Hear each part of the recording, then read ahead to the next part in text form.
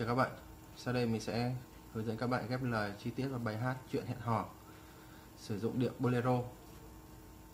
Các hợp âm có trong bài này là hợp âm D, F thăng M, E M, A, A7.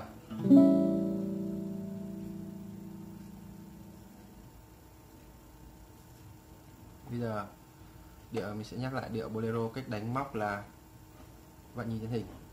Bùng check check check check bùng check bùng check bùng check check check check bùng check bùng check. Cái đánh quạt. Ta đánh đọc tiết tấu như nào đánh lại y hệt như thế. Check check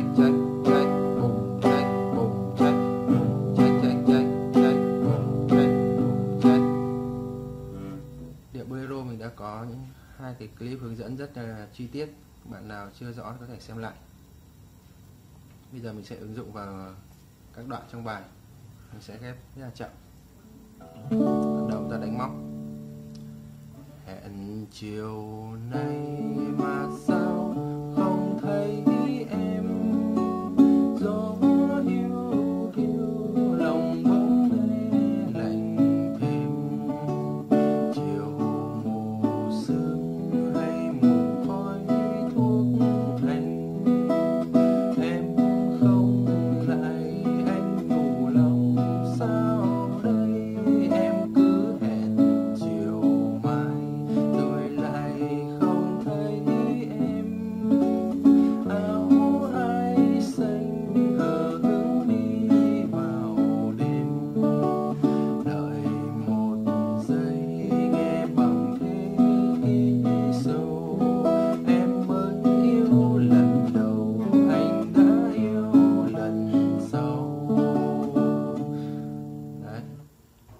đoạn tiếp theo là đoạn điệp khúc.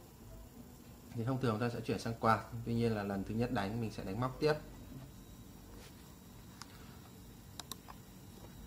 Lần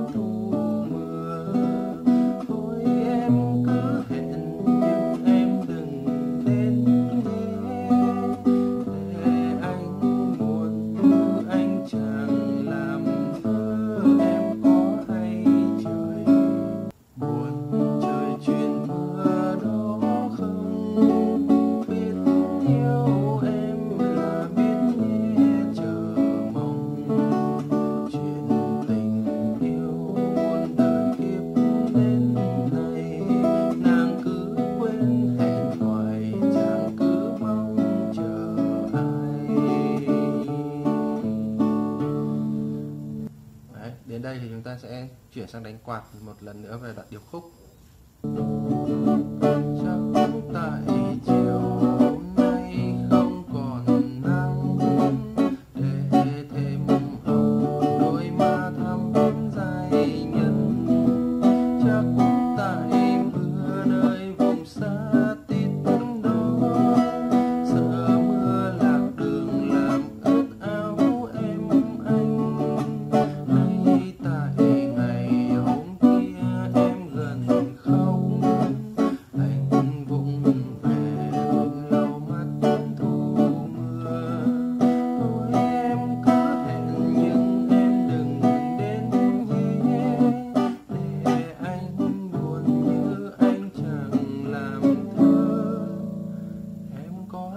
Trời buồn.